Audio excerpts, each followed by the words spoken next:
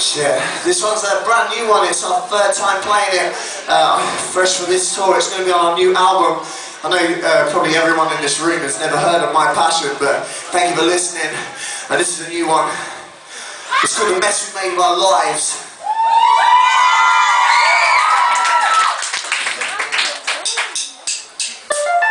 I promised you one day in June,